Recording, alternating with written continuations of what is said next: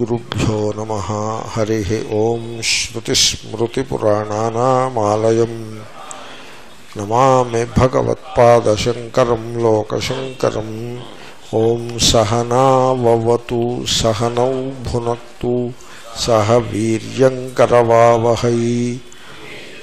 नावधीतमस्तु मिषा वह ॐ शान्तिश्शान्तिश्शान्तिः అథ యత్రైనం ఘ్నంతి వా. అదే చెప్పాలి. పద్దెనిమిది అవతారిక పద్దెనిమిది మ- పంతొమ్మిది మంత్రం అయిపోయింది. ఇరవై దీని అవతారిక కూడా మనం చూస్తూ ఉన్నాము అంతేనండి? చెప్పాలి. ముందు మంత్రం అంటున్నాము. జనంతి వా. హస్తీవ విచ్ఛాయయతి గర్తమివ పతతి యదేవ జాగ్రద్భయం పశ్యతి తదత్ర విద్యయా మన్యతే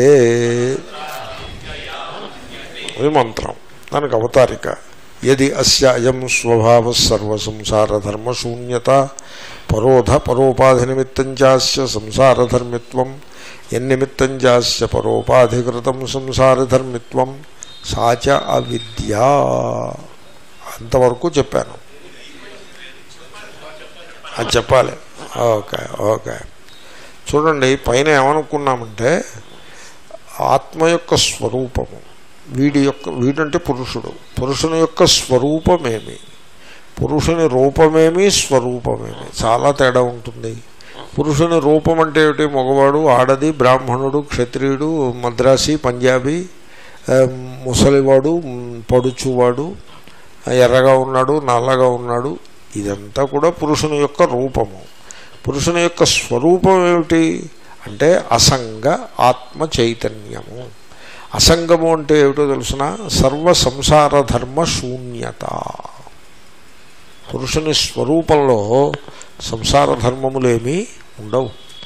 మీకు లోక వ్యవహారము లౌకికములైన సిస్టమ్స్ వాల్యూసు అన్నీ కూడా ఏ బేసిస్ మీద నిర్మాణం అవుతాయంటే మీరు సంసారి అనే బేసిస్ మీద నిర్మాణం అవుతాయి ఇప్పుడు రోడ్డు మీద కారు ఎడమవైపు నడుపవలెను లేన్లో నడుపవలెను రెడ్ ఉన్నప్పుడు ఆగవలెను అనే ఈ రూల్స్ అన్నీ ఎవరికి వర్తిస్తాయి ఇవి? కారు నడిపేవాడికి వర్తిస్తాయి. కారులో కూర్చున్నవాడికి వర్తించవు. నడిచిపోయేవాడికి వర్తించవు. బస్సు ఎక్కేవాడికి కూడా వర్తించవు. కారు నడిపేవాడికే వర్తిస్తాయి. అలాగే డబ్బు సంపాదించడం దాన్ని ఖర్చు పెట్టడం సుఖాన్ని అనుభవించటం ఈ ప్రాసెస్లో సుఖం లభిస్తుంది. సుఖం ఒకటి లభిస్తుందని అనుకోరాదు దుఃఖం కూడా లభిస్తుంది. దుఃఖాన్ని అనుభవించటం మళ్ళీ ఇహలోకానికైతే అంతవరకు. పరలోకం దగ్గరికి వచ్చేప్పటికి పుణ్యము పాపము అని ఎడిషనల్ ఫ్యాక్టర్స్ కాబట్టి ధర్మార్థ అర్థకామములు ఇహలోకానికి సంబంధించినవి ధర్మము పరలోకానికి సంబంధించినది ఇవన్నీ సంసార ధర్మములు. ఇహలోకాన్ని పరలోకాన్ని కూడా సంసారంలో పడేస్తారు. అవి రెండు కూడా సంసారమే. ఇవన్నీ సంసార ధర్మములు. ఈ సంసార ధర్మములు వ్యక్తికి ఉన్నాయి. ప్రతి వ్యక్తి ఈ సంసార ధర్మములను తన ఎత్తిమి పెట్టుకుని ఆ సుఖ దుఃఖాలని అనుభవిస్తూ ఆ పుణ్యపాపములతో సతమతమవుతూ ఉంటాడు. దీని పేరే సంసారము. ఇక్కడ ప్రశ్న ఏమిటంటే ఈ సంసార ధర్మములు యథార్థముగా నాకు ఉన్నాయా? అంటే లోకంలో మీరు ఎవరినైనా అడిగారనుకోండి వాళ్ళు ఉన్నాయని చెప్తారు. మీరు ఆఫీస్లో మీ జూనియర్నో సీనియర్నో అడిగారనుకోండి ఏమో మనకి సంసార ధర్మాలు ఉన్నాయి ఉన్నాయి కదా సార్ అంటాడు. ఉన్నాయి కదా పోయి పని చేయమంటాడు సీనియర్ అయితే. కదా? అదే మీరు భోగప్రధానమైన వాళ్ళు ఏ క్లబ్కో వెళ్ళి ఏమో ఈ సంసార ధర్మాలు మనకు ఉన్నాయంటావా అని అడిగి చెప్పారనుకోండి లేకపోతే ఏమిట్రా ఇంతవరకు డబ్బులు పోగొట్టుకున్నాను ప్యాకెట్లో దుఃఖాన్ని నేను అనుభవిస్తున్నానని చెప్తాడు వాడు లేకపోవడం ఏమిటి ఉన్నాయి. మీరు దేవాలయానికి వెళ్ళి పురోహితుడు గారిని అడిగారనుకోండి ఉన్నాయి రా పూజ చేసుకోమని చెప్తాడు కాబట్టి సంసార ధర్మములు మీ స్వరూపమునందు లేవు అని చెప్పేది వేదాంతం ఒక్కటియే ఫిలాసఫీ.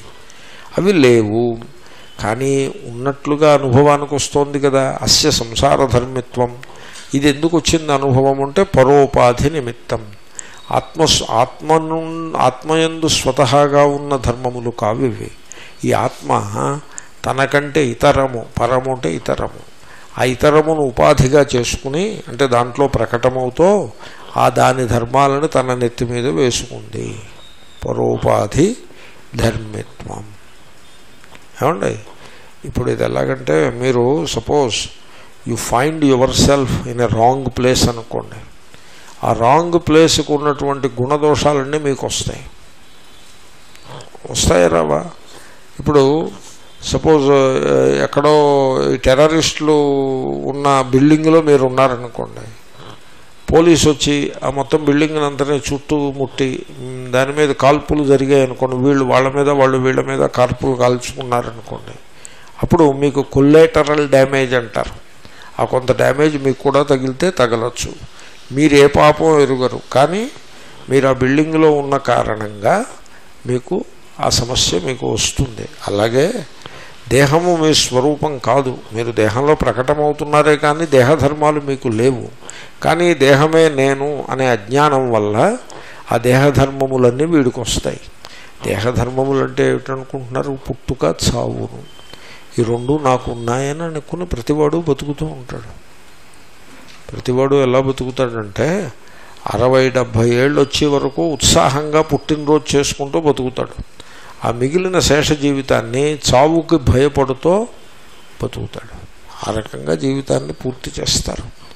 వైదికులు కూడా అలాగే అలాగే ఉంటారు. వైదికులు కూడా నాకు ఓపిక ఉన్నప్పుడు నేను ఈ యజ్ఞం చేశాను ఆ యజ్ఞం చేశాను. ఇప్పుడు అగ్నిహోత్రం చేయడానికి కూడా ఓపిక లేకుండా మూలపడున్నాను అని దుఃఖిస్తూ బతుకుతాడు ఉత్తర వయస్సులో. పూర్వ వయస్సులో నా అంతటి మునగాడు ఏం లేడు. నేను ఈ యజ్ఞం చేశాను వాజపేయం చేశాను పౌండరీకం చేశానని గొప్పలు చెప్పుకుంటూ బతుకుతాడు. వైదికులు కూడా అలాగే ఉంటారు. కాబట్టి అందరూ కూడా చావు పుట్టుకుల గుప్పిట్లో బతుకుతూ ఉంటారు. కారణం ఏమిటి ఈ చావు పుట్టుకలు సంసార ధర్మములు కదా. ఇవి వీడికి యథార్థంగా ఉన్నాయా? లేవు. మరి లేకపోతే అనుభవానికి ఎలా వస్తున్నాయండి? దానికి ఏదైనా హేతు ఉందా? ఉంది. పరోపాధి నిమిత్తం. ఆత్మ కంటే భిన్నమైనటువంటి దేహము ఏది గలదో ఆ దేహధర్మములో తన నెత్తి మీద వీడు వేసుకుంటున్నాడు. అయితే ఏమండి పరమ ఇతరము అంటే అనాత్మ. అనాత్మ యొక్క ధర్మములు ఆ అనాత్మయందు వీడు ప్రక ఆత్మ ప్రకటమవుతున్న కారణంగా అనాత్మ ధర్మములు వీడు ఆరోపించుకుంటున్నాడు అంటే అలాగే అలాంటి తెలివి తక్కువ పని ఎందుకు చేస్తున్నాడు? ఆ దాని పేరే అవిద్య. ఇప్పుడు ఆల్కహాల్ మంచిది కాదని తెలిసి ఎందుకు తాగుతున్నాడు? ఏం చెప్తారు? అవిద్య. విద్యార్థి దశలో ఉన్నప్పుడు బాగా చదువుకుంటే మంచి మార్కులు వస్తాయి. మంచి మార్కులు వస్తే కాలేజీలో సీట్ వస్తుంది. అందరూ ప్రశంసిస్తారు. జీవితంలో పైకి రావచ్చు అని తెలుస్తూ ఉంటుంది. తెలుస్తూ ఉంటుంది. అయినా కూడా వాడు ఆ పని చేయడు మధ్యాహ్నం క్లాస్ ఎక్కొట్టి సినిమాకి వెళ్ళిపోతాడు. సినిమా హాల్లో కూర్చుంటాడు పోయి. క్లాస్లో కూర్చోవలసిన వాడు. ఎందుకు చేస్తున్నాడు ఇలాగంటే? మరి దాని పేరే అవిద్య. ఈ అవిద్య కాబట్టి సాచ అవిద్య. అంటే తన ఎందు లేని చావు పుట్టుకలను తనపై వేసుకుంటున్నాడు. తన యందు లేని సుఖదుఖములను తనపై వేసుకుంటాడు. సుఖదుఖములు తన యందు ఉండవు మనస్సునందు ఉంటాయి. చూడండి ఎవడో దుఃఖిస్తూ ఉంటాడు. దుఃఖిస్తూ ఉంటే వాడు దుఃఖి పొని దుఃఖిస్తూ ఉండొచ్చు కదా దుఃఖ అందరితో ఆగడు వచ్చి స్వామి దగ్గరికి వచ్చి నాకు ఈ దుఃఖంతో బాధపడుతున్నాను అని వాపోతాడు. వాపోతే స్వామి ఏం చెప్ స్వామి ఏం చేయాలి ఏదో తాయెత్తి ఇవ్వాలి ఆ తాయెత్తు ఎలా ఉండాలి అంటే ఆ బయట పరిస్థితి మారకున్నా వీడికి దుఃఖం కలగకుండా ఉండేట్లాగైనా పర్వాలేదు. లేకపోతే బయట పరిస్థితి మార్చేసి వీడికి అనుకూలంగా ఇట్లా అయినా పర్వాలేదు. ఆ విధంగా దుఃఖాన్ని పోగొట్టాలి వీడికి. స్వామి అంటాడు బయట పరిస్థితిని నేను మార్చలేను రమ్మా స్వామి సిన్సియర్ పెర్ఫెలో మోసం చేయడం ఎరగడం. కాబట్టి బయట పరిస్థితిని నేను మార్చలేను అది మీరు మీరు కొట్లాడుకుంటుంటే నేను ఎలా మారుస్తా దాన్ని? అది నా వల్ల అవ్వదు. తర్వాత బయట పరిస్థితిని బట్టి నువ్వు దుఃఖిస్తూ ఉండడము అనే దాన్ని కూడా నేను మార్చలేను. కానీ నీకు ఒక చక్కటి సలహా చెప్పగలుగుతా. అదేమిటంటే నువ్వు అనుభవిస్తున్న దుఃఖము వాస్తవంలో నీ స్వరూపంలో లేదు. అది మనస్సునందు గలదు అని చెప్తాను. అంటే మరి మనస్సు అంటే నేనే కదా? కాదు. నువ్వు పంచే నీ మనస్సును ఒక్కసారి పరిశీలించు. నా ముందే కూర్చున్నావు కదా. నా నీ మనస్సును ఒకసారి పరిశీలించు. ఆ పరిశీలించావా? సపోజ్ వాడు బుద్ధిమంతుడు అనుకోండి. ఆ పరిశీలించాను. దీన్ని బట్టి నీకేం తెలిసింది? నీవు పరిశీలకూడవు మనస్సు నీ చేత పరిశీలించబడేది. ఆ తేడా వచ్చింది కదా? ఇప్పుడు నీకు దుఃఖం కలిగినప్పుడల్లా మనస్సును సాక్షి రూపంగా పరిశీలిస్తూ ఉండు అని నేను చెప్తాను. చెప్తే ఏమంటాడో తెలుసిన? బుద్ధిమంతుడైతే ఏమంటాడు? నేను అభ్యాసం చేస్తానండి.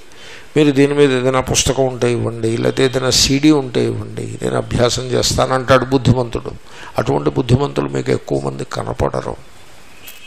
వాళ్ళు ఏమంటారో తెలుసిన?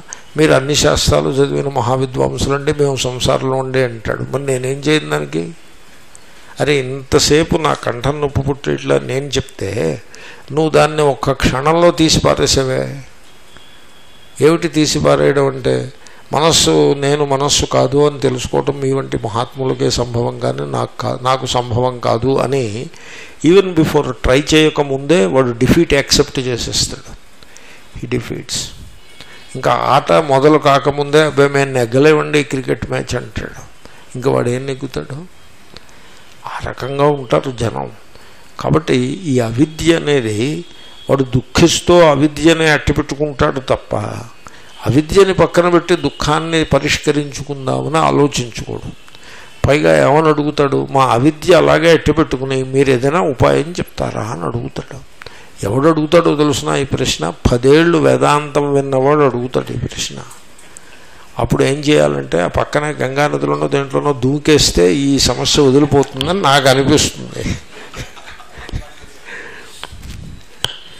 ఇప్పుడు వేదాంతం అంటూ ఏమిటో విరగిన వాడు వచ్చి తాయెత్తి ఇవ్వమన్నాడంటే I can appreciate his his mind వీడు వేదాంతం పదేళ్ళు విని వీడికి తాయెత్తు కావాలి.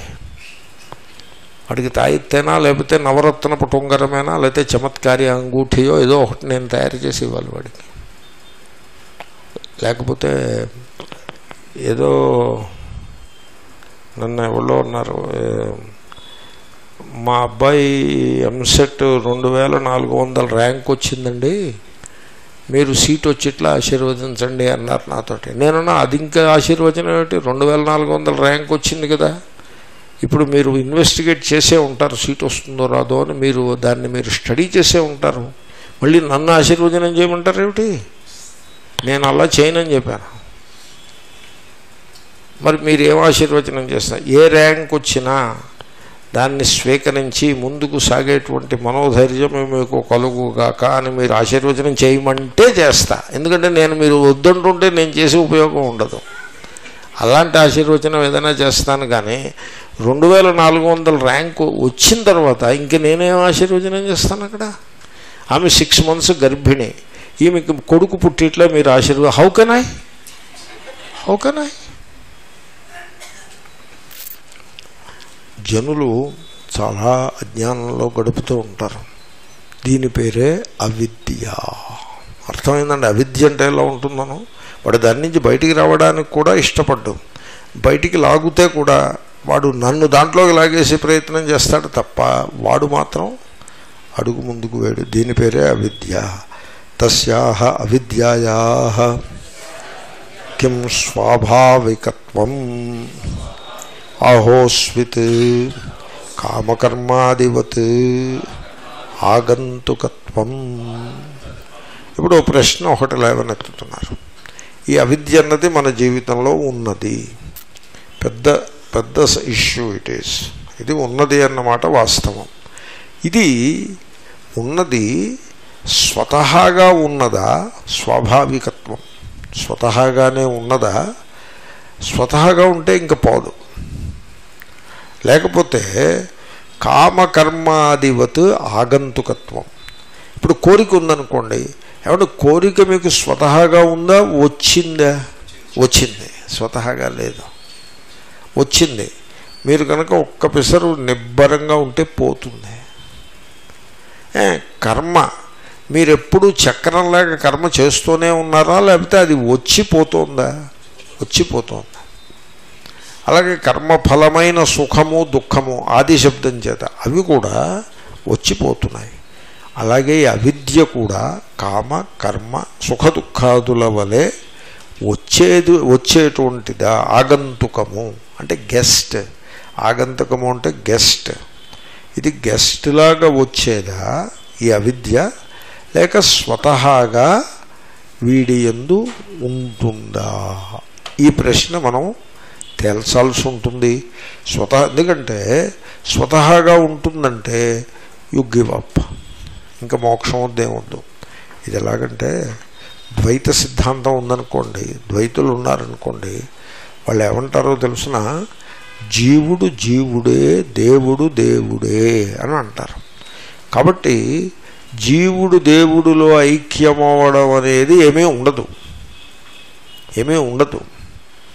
వాళ్ళు యథానద్య చందమానాహ నది వెళ్ళి సముద్రంలో ఐక్యమవుతుంది అనే ఉపనిషద్వాక్యాలని వీటన్నిటినీ కూడా వాళ్ళు ఎక్కడో పారేస్తారు. వేస్ట్ బాస్కెట్లో పారేసి ఏదో తమిళ తమిళ పద్యాలు మీకు నాకు అర్థం కానివి చెప్తాడు. దాంట్లో ఏదో చెప్తాడు. ఆ ఇరవై ఆరో పాశురంలో తిరువత్తుమురై అని ఏదో ఉంది. అక్కడ గోదాదేవి ఇలా అంది అంటాడు. ఏం చేయమంటారు ఇప్పుడు? ఏం చెప్పమంటారు? ఆయనకి ఏమి మాట్లాడతారు మీరు? Something like that he starts దీనికోసం అలాగే అక్కర్లేదు. వీళ్ళు కూడా ద్వైతులు ఎక్కడున్నా అలాగే ఉంటారు. ఎవరైనా దీనికోసం తమిళే అక్కర్లేదు. తెలుగువాడు వాళ్ళ కార్తీక పురాణంలో పద్యం చెప్తాడు. చెప్పి ఏదో ఏదో శ్లోకం చెప్పు అప్పుడేమో సోమశర్మ అలా చేసి అలా అయ్యాడు నువ్వేమో అత్త బ్రహ్మంటావు ఎక్కడ కుదురుతుంది అంటాడు కాబట్టి you you cannot argue with them వాళ్ళ దృష్టిలో జీవుడు దేవుడు అవ్వడం అనేది లేదు. They never even try for that అటువంటిది ట్రై చేస్తే కూడా పాపము అని వాళ్ళు అనుకుంటారు. దేవుడు పనిష్మెంట్ ఇస్తాడని వాళ్ళు అనుకుంటారు. సో ది పాయింట్ ఈజ్ ఇక్కడ మీరు అవిద్య యథార్థముగా స్వరూపమై ఉన్నదని అనుకుంటున్నారా? లేకపోతే కామకర్మాదుల వలె పైనుంచి వచ్చిపోయేదనుకుంటున్నారా? ఏదో ఒకటి సెటిల్ చేయాలి. యది చ ఆగంతుకత్వం తతో విమోక్ష ఉపపద్యతే. అంటే అర్థం ఏంటో తెలుసునండి? అది స్వతహాగా ఉంది అంటే మోక్షం అనేది ఏమీ ఉండదు. అది స్వతహాగా లేదు వచ్చిపోయేది మాత్రమే. గెస్ట్ ఆగంతుక అంటే గెస్ట్. అది గెస్ట్ లాగా వచ్చింది అన్నప్పుడైతే తప్పనిసరిగా దాని నుండి విముక్తి సంభవము. ఉపపద్యత అంటే సంభవమగుచున్నది. కాబట్టి ఇప్పుడు ఈ అవిద్య విషయంలో మీరు మనస్సు పెట్టాల్సి ఉంటుంది. ఈ అవిద్య మన జీవితంలో వచ్చిపోతుందా? లేక స్వతహాగానే ఉన్నదా? ఏమంటే మీకు రహస్యం చెప్తా.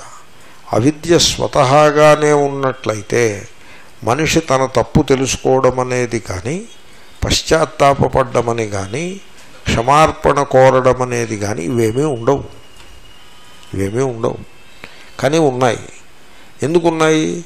వీడు తనను తన తప్పు తెలుసుకున్నాడంటే అర్థం ఏంటి? అంతకుముందు వాడిని ఆవేశించిన అవిద్య పక్కకి తొలగిందనే కదా. అవిద్య తొ- తప్పు చేసినప్పుడు తెలియదు తప్పని. తప్పు చేయడం అయిపోయిన తర్వాత ఖాళీగా కూర్చుని ఉన్నప్పుడు తను తప్పు చేశానని తెలుస్తుంది. అంటే అర్థం తప్పు చేసే సమయంలో వీడిని ఆవేశించిన అవిద్య తర్వాత కొంతకాలానికి పక్కకి పోయింది. అనే కదా మరి. కాబట్టి తప్పు తెలుసుకుంటున్నాడు అంటే అవిద్య ఆగంతుకము. పశ్చాత్తాపడుతున్నాడు అంటే అవిద్య ఆగంతుకము. కాబట్టి అవిద్య అనేది వచ్చిపోయిందే తప్ప పోయేదే తప్ప స్వతహాగా ఉన్నది కాదు. అందువల్లనే మోక్షం అనేది సంభవమవుతోంది. తస్యాశ్చ ఆగంతుకత్వే కోపపత్తి. ఇప్పుడు అవిద్య ఆగంతుకము స్వతహాగా లేదు ఆగంతుకము అనే అని చెప్పడము శాస్త్రము యొక్క అభిప్రాయం. అయితే అవిద్య ఆగంతుకము అని చెప్పటానికి హేతువు ఏది? యుక్తి. ఉపపత్తి అంటే యుక్తి. ఏమంటే యుక్తియుక్తంగా చెప్పాలంట. యుక్తియుక్తంగా చెప్పాలి. మీరు ఏదో జబర్దస్తిగా చెప్తే అది ఒప్పరు. మీరు యుక్తియుక్తంగా చెప్పాల్సి ఉంటుంది. సపోజ్ మీరు ఆయన మెడలో మాల లేదండి ఆయన అలా కూర్చుని ఉన్నారు భక్తులందరూ ఎదుర్కొండా కూర్చున్నారు ఆకాశం నుంచి వచ్చి మెడ మాల ఒకటి ఆయన మెడలో పడింది అని మీరు అలాంటివి చెప్తే అది శాస్త్రం అనిపించుకోదు. మీరు రేషనల్గా చెప్పాలి యుక్తియుక్తంగా చెప్పాలి. అవిద్య స్వతహాగా వీడికి ఉన్నది కాదు అది గెస్ట్ అది అని నిర్ధారణ చేయడానికి మీ వద్ద యుక్తి ఏమి కలదు. ఎందుకంటే చాలా ఇంపార్టెంట్ వెయిటీ మ్యాటర్ ఇవన్నీ ఇవన్నీ వెయిటీ మ్యాటర్స్ జనం ఏం చేస్తారో చెప్పమంటారా? ఉదయం నిద్ర లేచింది మొదలుకొని రాత్రి పడుకునేదాకా ఆ మిథ్యా విషయములలో తలమునకలవుతూ ఉంటారు. డబ్బు ఇల్లు వాకిలి రిలేషన్స్ కొడుకు కూతురు భర్త భార్య తండ్రి తల్లి తల్లి అన్న తమ్ముడు వీటిల్లో డబ్బు భోగాలు సుఖాలు దుఃఖాలు వీటిల్లో పూర్తిగా మునిగిపోయి ఉంటారు. మునిగిపోయి నిద్రపోవడానికి ఇంకా కొంచెం టైం ఉంది. ఒక అరగంట ఖాళీగా దొరికినప్పుడు వేదాంతం దగ్గరికి వస్తారు. వేదాంతం దగ్గరికి వస్తే ఇక్కడ ఇక- మీకు ఇప్పుడు వే- ఏది which is the weighty thing సంసారం ఈజ్ ది వెరీ వెయిటీ ఈ వేదాంతం అన్నది ఊరికే ఏదో పక్కన అలంకారంగా ఆగం అలంకారంగా పెట్టుకుంటారు. ఏదో అలంకారంగా పెట్టుకుంటారు.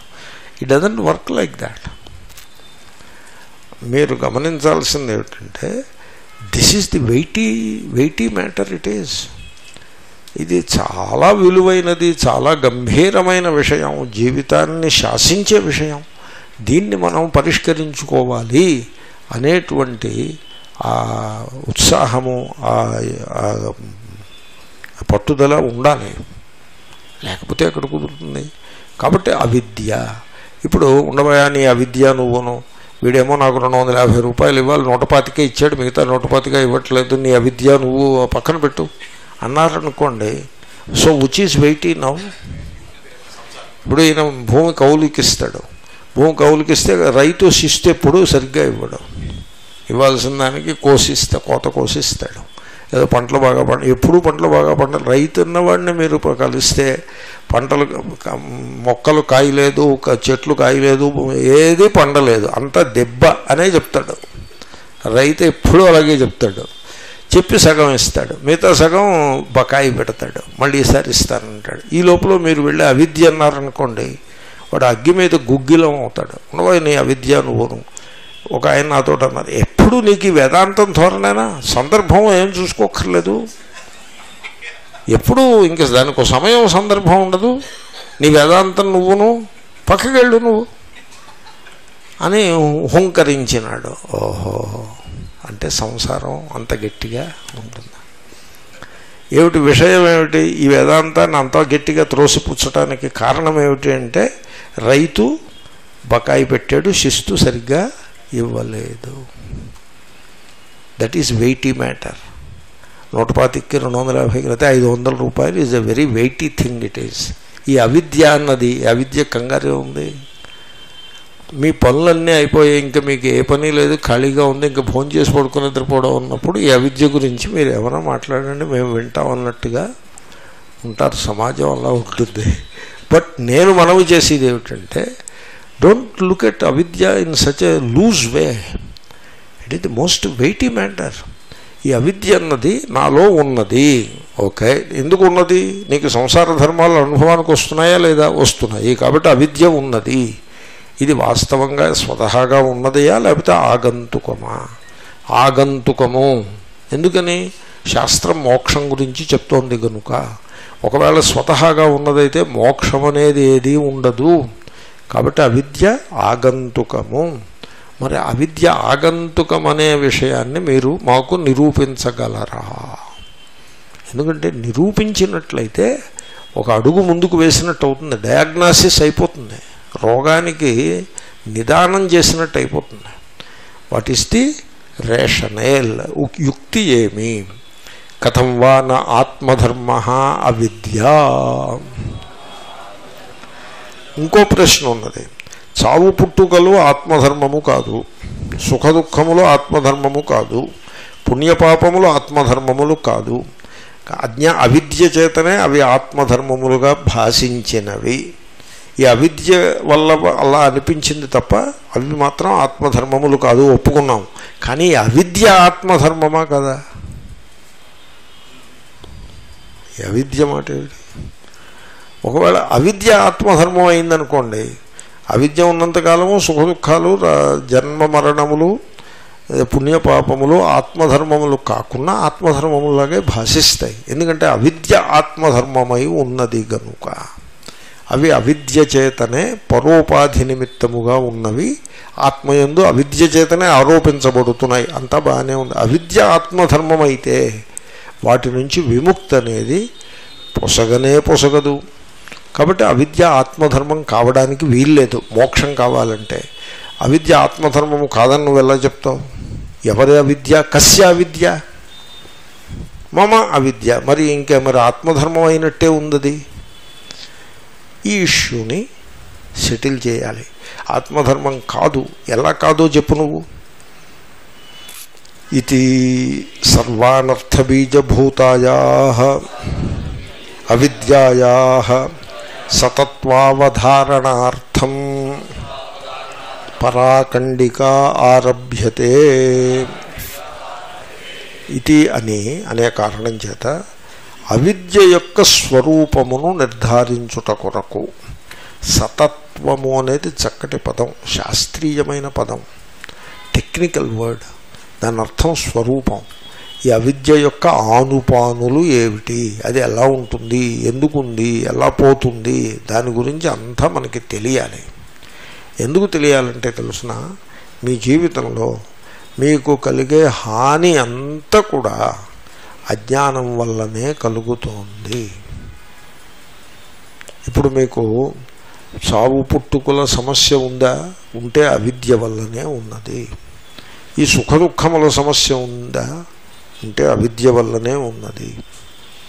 ఇప్పుడు కాదండి అవిద్య అంటారు ఏమిటండి? మాకు రావాల్సిన డబ్బు రాక మేము దుఃఖపడుతున్నాం. మరి అలాగే ఉంటుంది. మీకు రావాల్సిన డబ్బు రాక మీరు దుఃఖపడుతున్నామని మీరు అనుకోవడం పేరే అవిద్య. అలా అనుకోవడమే అవిద్య అంటే. కాబట్టి మీకు ఈ పుణ్యపాపముల జంఝాటంలో పడి ఉన్నారా? అవిద్య. అంత అవిద్య. కొంతమంది ఎలా ఉంటారంటే పంచాంగం ఒంటికి నా- కట్టేసుకుని మెడకి కట్టేసుకుని ఉంటారు. వాడు బి- బిగుసుకుపోయి ఉంటాడు ఆ పంచాంగంలో బిగుసుకుపోయి ఉంటాడు. వాడు ముందుగా అడుగు వేయాలంటే వర్జన్ దుర్ముహూర్తం కూర్చోవాలంటే వర్జన్ దుర్ముహూర్తం అలా ఉంటాడు. తర్వాత దేశం. దేశం. మీకు తెలుసా? ఒక తెలుగు పండితులు ఒక ఆయన ఉన్నారు. ఆయన వేద శాస్త్రం బాగా చదువుకున్న ఛాదస్థం మనిషి అంటే ఆర్థడాక్స్. భాషా ప్రమాణ పాస్ అయి తెలుగు పండితులు ఉద్యోగం వేశారు తనకి ఉద్యోగం కావాలి. ఎందుకంటే ఉద్యోగం ప్రతి నెల జీతం వస్తుంది. ఆయనకి జాబ్ ఎక్కడ వేశారంటే సోంపేటలో తెలుగు పండితుడిగా వేశారు. సోంపేట అంటే ఎక్కడ? శ్రీకాకుళం దాటి. ఈయన ఎవళ్ళో ఇంకో శాస్త్ర ధర్మసింధు ధర్మ ధర్మశాస్త్రం చెప్పి వాళ్ళు ఎవళ్ళు ఉంటారు. వాళ్ళు ఏమని చెప్పారంటే ప్రాణం పోయినా ఒప్పుకోవచ్చు కానీ కళింగ దేశంలో బతకకూడదు అని ఒక వాక్యం కలదు. అది ఈయన బుద్ధికి పట్టింది. నేను ఎరుగుదును ఆయన్ని అది ఈయనకి పట్టింది. కళింగ దేశంలో బతకకూడదు అని పట్టింది. అది అలా కళింగ దేశం భారతదేశంలోదే కదా? భారతదేశంలోదే ఇది ఎక్కడి నుంచి పట్టుకొచ్చారో పట్టుకొచ్చారు.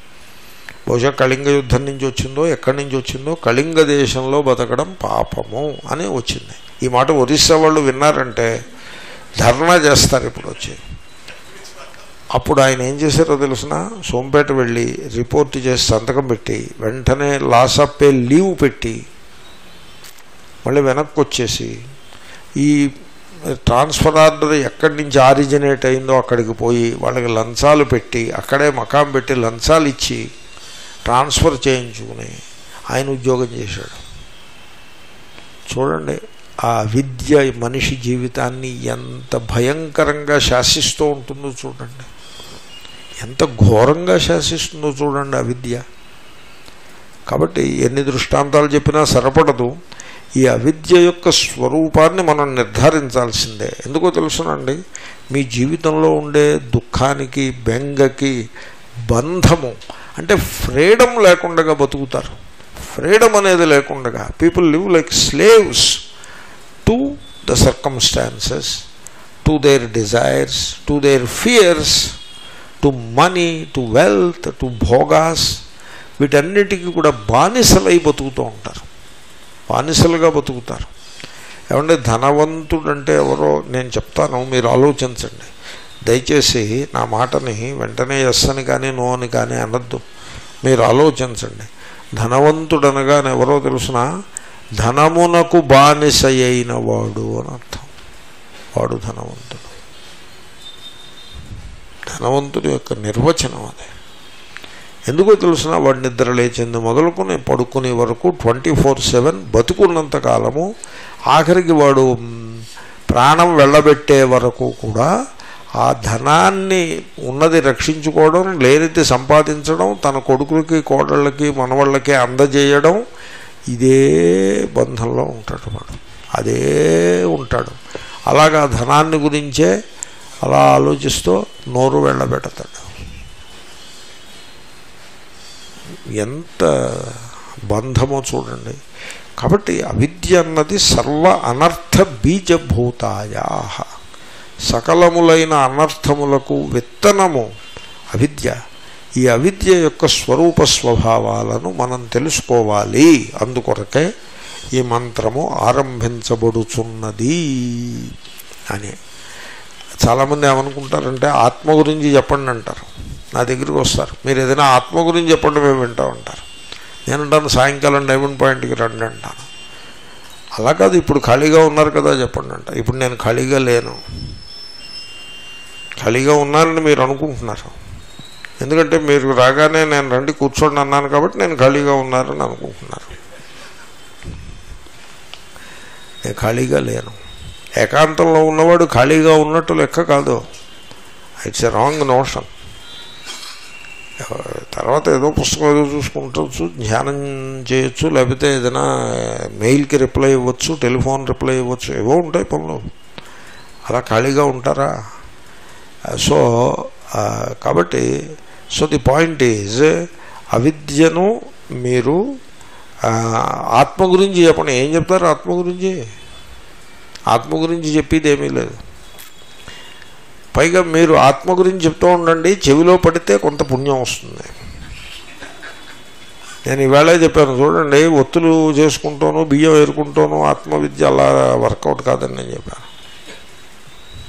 ఏదో చెప్ ఏదో పురాణం ఉంది. ఈ ఈ రకంగా తయారైంది సమాజం. అన్నిటికీ కొంతమంది పురాణానికి ఇష్టపడతారు కొంతమంది ఉన్నారు.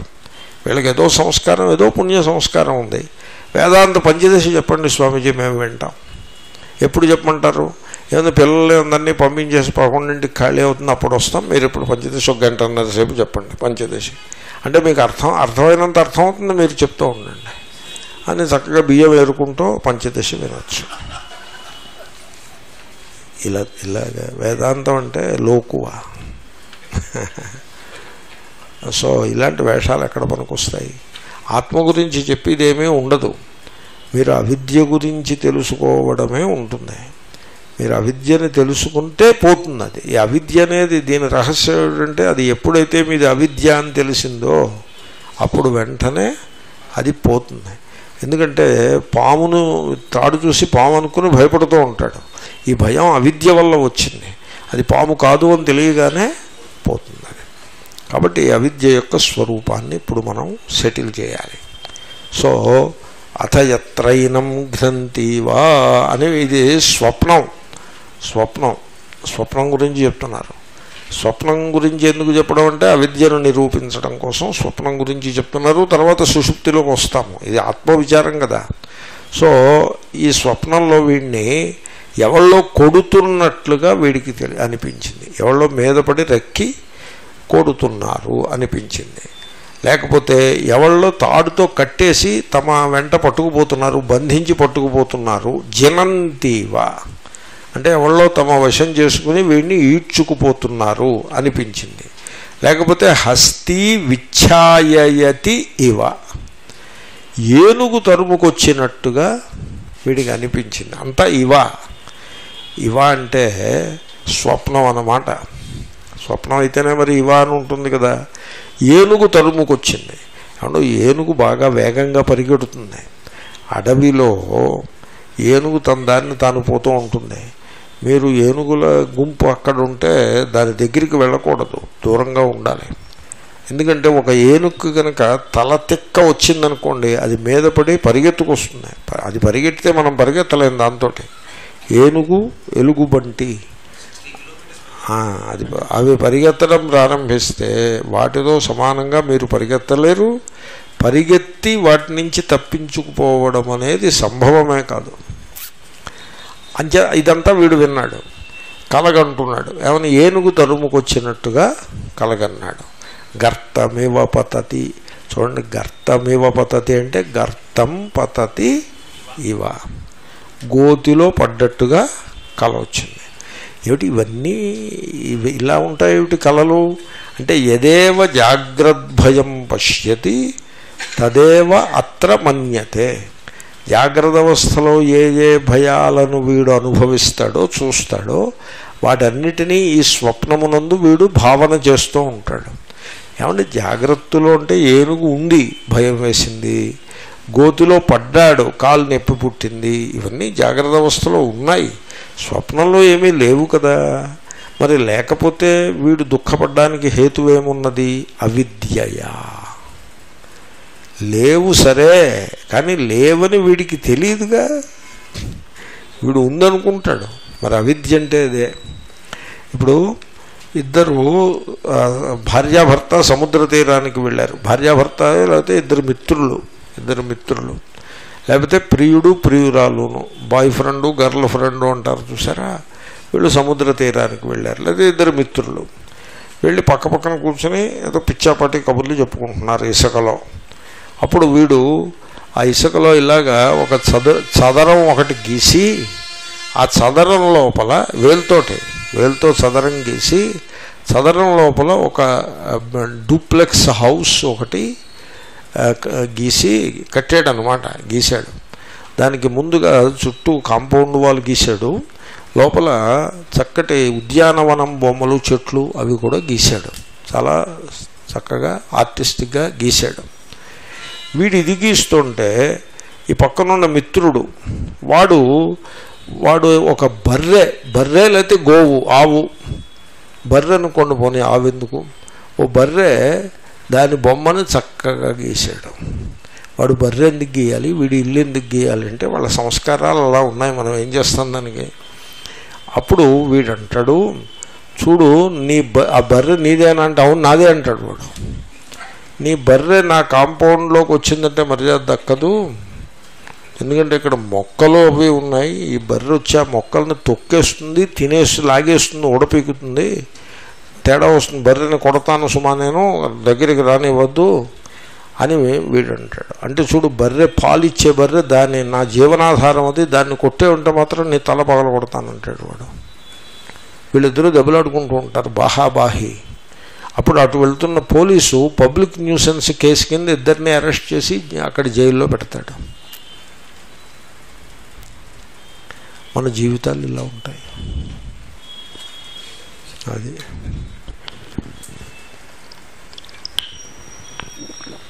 మనం ఇసుకలో బొమ్మల్లాగా మనం ఊహాజనితమైనటువంటి సంస్కారాలను భావనలను పెట్టుకుని వాటి కోసం ఇతరులతో పెనుగులాడుతూ మనం బతుకుతూ ఉంటాం. అస్తు ఇదంతా సత్యం అనుకుంటాడు వీడు. స్వప్నంలోకి రండి. నేను జాగ్రత్త అవస్థ కూడా సత్యం కాదని చెప్పడం కోసం దృష్టాంతంగా చెప్పాను. కానీ ప్రస్తుతంలో స్వప్నంలో ఇదంతా సత్యం అనుకుని ఆ దుఃఖాన్ని ఆ భయాన్ని అనుభవిస్తూ భయ వీడు బతుకుతాడు. మనుష్యులు భయమే ప్రధానంగా జీవిస్తూ ఉంటారు. డబ్బున్నవాడికి భయం. ఉన్న డబ్బు పోతుందేమో అని. డబ్బు లేని వాడికి భయం. తగినంత డబ్బు రాదేమో అని. భోగ భోగికి భోగి అనకూడదు. భోగ పరా భోగి అంటే పాము. భోగ పరాయణునకు భోగము తన చేతికి దొరకదేమో అని భయం వాడికి. టెన్షన్లో ఉంటాడు. భోగపర ఇప్పుడు పేకాట వాళ్ళు ఉన్నారే పేకాట అలవాటైన వాళ్ళు. వాడు టెన్షన్లో ఉంటాడు. ఏమిటి టెన్షను? పేకాట మిత్రులందరూ చేరి టైము ఆరు గంటలు సాయంకాలం. ఆ ఆరు ఇంకా అవ్వలేదు ఏమిటి ఎప్పుడవుతుందో ఎప్పుడవుతుందో అని టెన్షన్లో ఉంటాడు. వెయిటింగ్లో ఉంటాడు. Waiting is tension. తర్వాత తీరా ఈ వేళ నేను నెగ్గుతానో లేకపోతే నిన్న పోయినట్టే ఈ వేళ కూడా పోతుంది ఈ వారం అంతా లాసే ఈ వేళ కూడా లాసేమో అని టెన్షన్లో ఉంటాడు. కాబట్టి భోగి భోగపరాయణులు టెన్షన్లో ఉంటారు. సో వాడి భయపడుతూ బతుకుతాడు భోగాలు దొరుకుతూ దొరకవు. ఇంకా ఈ పుణ్యపాపాల జనం ఉన్నారు. వాడికి పాపం అంటే భయం భయం భయం. పాపం అంటే భయం. ఇప్పుడు పెసరట్టులో ఉల్లిపాయ ముక్క వేశారనుకోండి పాపం వస్తుందేమో అని భయం వాడికి. పెసరట్టులో ఉల్లిపాయ ముక్క వేస్తే పాపం ఎందుకు వస్తుందండి? వీళ్ళకి ఏమైనా బుర్ర ఉండాలి. కాదండి తమో గుణం వస్తుంది మాకు అజ్ఞానం కలుగుతుంది. అలాగేదైనా చెప్తే పర్వాలేదు కానీ పాపం రావడం ఏమిటి? మాంసం తింటే పాపం వస్తుంది ఎందుకంటే హింస ఇన్వాల్వ్ అయ్యింది కనుక ఉల్లిపాయ వేస్తే పాపం ఎందుకు వస్తుంది? దానికి ఏదైనా రీజన్ చెప్పాలి కదా. తర్వాత మంచినీళ్ళు నిలబడి తాగితే పాపం. ఏమిటి నిలబడి తాగితే పాపం ఏమిటండి? వీళ్ళ మోహం ఎట్సా? దాహం వేసినప్పుడు మంచినీళ్ళు తాగితే దానికి కూడా పాపమే? ఆ నీళ్ళు కనుక స్వచ్ఛంగా లేకపోతే ఇన్ఫెక్షన్ వస్తుందన్నమాటకు ఖాయం. అంతేగాని నిలబడి తాగితే పాపం కూర్చుని తాగితే పుణ్యమునా? అలా ఉంటుందండి. అలా బతుకుతూ ఉంటారు వీళ్ళు. పాపం వచ్చేస్తుందేమో అని భయం. ఏ తప్పకుండా తప్పకుండా అన్నాడంటే వాడి అభిప్రాయం ఏమిటి? పాపం అంటే అమా అపవిత్రం అయిపోతే పాపం వచ్చేస్తుందేమో అని భయం. అలా భయపడుతూ బతుకుతారు. ఈ సంసారులు అందరూ భయపడుతూ బతుకుతారు. భయమెరుగని వాడు జ్ఞాని. ఫియర్లెస్నెస్ ఈజ్ మోక్షం అది. ఆ ఈ జాగ్రత్త అవస్థలో ఇంతలా భయపడతారు కాబట్టి వీళ్ళందరూ స్వప్నంలో ఇలాంటి భయాలు ఏవో పెట్టుకు బతుకుతారు భాష్యం చదువుదాం. అథ ఏవం సతీ. అంటే ఇది ఇట్లుండగా ఎత్ర యస్మిన్ కాలే ఏ కాలమునందైతే అది స్వప్నం అది. ఆ స్వప్నంలో ఒక టైము కేచన శత్రవ ఎవరో శత్రువు వీడికి శత్రువులు ఆ శత్రువుల మీద పడి కొట్టేస్తున్నారని వాడికి భయం. కేచన శత్రవ ఎక్కడో దెబ్బలాట వస్తాడు. ఎక్కడో రోడ్డు మీద రోడ్డు రేజీ వాడిని ఎవరినో తిట్టి వస్తాడు వాడు వీడి టెలిఫోన్ నెంబర్ అది నోట్ చే వీడి కార్ నెంబర్ అది నోట్ చేసుకుని వీడి అడ్రస్ పట్టుకుని ఒక పది మంది గూండాలను తీసుకుని వచ్చి కొట్టాను అని వాడు చిన్న హెచ్చరిక ఒకటి దారి చేశాడు. వీడు వాడు వచ్చి కొడుతాడేమో అని భయపడుతూ బతుకుతాడు. అదేదో వాడిని తిట్టి ముందు ఉండద్దు. అడు పోలేవోయ్ కారు నువ్వు కారుకి డెంట్ పెడితే పెట్టావు ఏం పర్వాలేదమ్మా అందరికీ అవుతుంది ఇటువంటి మిస్టేక్ జాగ్రత్తగా వెళ్ళిరామ్మా నీకు దెబ్బ తగలలేదు కదా అని మనం అనగా అడగాలి. కారు డెంట్ అయితే దాని గురించి నువ్వు విచారించగా నీకైతే దెబ్బ తగలలేదు కదా నాయనా అని అనాలి. అంటే వాడు దారిని వాడు పోతాడు మన దారిని మనం రావచ్చు. వాడిని పట్టుకు తిట్టారనుకోండి కారుకి డెంట పడిందని ఇదిగో నేను ఇప్పుడే వస్తున్నా పదని చెప్పేసి వాడు ఒక బెదిరింపు పెడతాడు. వీడు భయపడుతూ బతుకుతాడు. ఎవరో తస్కరులు చోరులు కానీ శత్రువులు అన్యేవా తస్కరా. ఎవరో ఇతరులు తస్కరులే కావచ్చు. తస్కరులు అంటే చోరు చోర్ దొంగలు. వీళ్ళందరూ ఆగత్యఘ్నంతి. వీళ్ళందరూ వచ్చి అంటే గుంపుగా వచ్చి వీణ్ణి నన్ను కొడుతున్నారు. కళ ఇది మృష ఏవా వాసనా నిమిత్త ప్రత్యయ. అవిద్యాఖ్యోజాయతే అక్కడ స్క్వేర్లు రెండు పడ్డాయి. అవి ఏమిటంటే అకార ప్రశ్లేషలు అవిద్యా ఆఖ్య అని అకార ప్రశ్లేషలు అవగ్రహము అంటారు. రెండు అవగ్రహములు ఉంటాయి. ఆ అవగ్రహములు ఫాంట్ మారినప్పుడు అవి అవి ఆ ఫాంట్ డిస్టర్బ్ అయిపోయి స్క్వేర్ల కింద ఉన్నాయి. ఓకే? అవిద్య అనబడే ఒక తలంపు. ఆ తలంపుకే అవిద్య అని పేరు. వీడు నిద్రపోతున్నాడు. నిద్రపోతుంటే వాడికి శత్రువులు ఎవరో వచ్చి తనని కొట్టేస్తున్నట్టు లేకపోతే దొంగలు వచ్చి మీద పడి కొట్టేస్తున్నట్టు వీడు అనుకుంటాడు. అలాంటి జ్ఞానం వీడికి కలుగుతుంది. అటువంటి మానసికమైన అనుభవం వీడికి కలుగుతుంది. మానస ప్రత్యయము. అదే అనుభవం. ఇలాంటిది ఎక్కడి నుంచి వచ్చిందండి? నిద్రపోతుంటే చోరులు ఎక్కడో నుంచి వచ్చారు శత్రువులు ఎక్కడి నుంచి? వాసనా నిమిత్త. ఏమంటే శత్రువు అన్నవాడు మీకున్నాడు అంటే అక్కడ మీకు శత్రువాసన గలదు. మిత్రుడన్నవాడు ఉన్నాడంటే మిత్రు వాసన. అది కూడా వాసనే. మొత్తానికి ఇక్కడ శత్రువులు లేకపోతే చోరులు. చోరులు వచ్చి పట్టుకుపోతారనే బెంగ మీకు ఎప్పుడు ఉంటుంది? రెండు సందర్భాల్లో ఉంటుంది. ఒకటి మీరు బాగా డబ్బు మూటగట్టి ఓ చోట పెడతారు. చోర్లు పట్టుకుపోతారేమో అనే భయం ఉంటుంది. లేదా డబ్బు మూటగట్టినా అది నాది అనుకోకపోతే భయం ఉండదు. దాని ఎందు మమకారం ఉన్నప్పుడే భయం ఉంటుంది. మమకారం లేదనుకోండి డబ్బు మూట కట్టినా భయం ఉండదు. కాబట్టి ఇది వాసన. ఈ ధనమునందు మమకారము అనే వాసన. లేకపోతే శత్రుభావన. ఇలాంటి వాసనలన్నీ కలిసి వీడికి ఇటువంటి భా- అనుభవం కలుగుతుంది. ఏమన్నా ఈ అనుభవం సత్యమా? మృష ఏవా? వాస్తవికత ఏమీ లేకుండా అయథార్థము అయినప్పటికీ కూడా అనుభవం కలుగుతుంది. తదే తదుచ్యతే. అదే విషయాన్ని ఈ మంత్రం చెప్తోంది. ఏమని? ఏనం స్వప్నదృశం ఘ్నంతి ఇవా ఇది వీడు స్వప్నం చూస్తున్నాడు. స్వప్నావస్థ గురించి చెప్తున్నారు. స్వప్నం చూస్తున్నాడు. ఏనం స్వప్న దృశ్యం స్వప్నాన్ని చూస్తున్నాడు. కలగంటున్నాడు. ఆ కలలో ఈ చోరులో శత్రువులో వచ్చి తనను కొట్టేస్తున్నట్టుగా వీడికి అనిపించింది. అలా చూస్తాడు వీడు. తథా జనంతి ఇవా వశీకుర్వంతి ఇవా. అలాగే ఇంకో సందర్భంలో వీడి స్వప్నంలో అందరూ వచ్చేసి తనని వశం చేసేసుకుని కిడ్నాప్ చేసి పట్టుకుపోతున్నట్టుగా కల వచ్చింది. అలాంటి సినిమాలో అవి చూసాడు అనుకోండి అవన్నీ వస్తుంటాయి కళ్ళ అది అది సందర్భాన్ని బట్టి ఉంటుంది. వాడి వాడి వాసనల్ని బట్టి ఉంటుంది. ఏమంటే వీడిని ఎవడు కొడుతున్నాడు? ఎవడు వీడిని కిడ్నాప్ చేస్తున్నాడు? ఎవడు నకేచన ఘ్నంతి నకే నాపి వశీకురువంతి వీడిని ఎవళ్ళు కొట్టనట్లేదు. వీడిని ఎవళ్ళు కిడ్నాప్ చేయటం లేదు ఏమీ చేయటం లేదు కేవలం తూ అవిద్యావాసనోద్భవ నిమిత్తం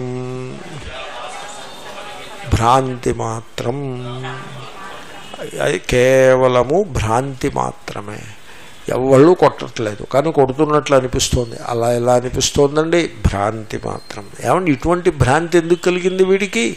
అంటే అవిద్యావాస అవిద్యారూపమైన వాసనలు వీడి హృదయంలో నిండా గూడు కట్టుకుని ఉన్నాయి.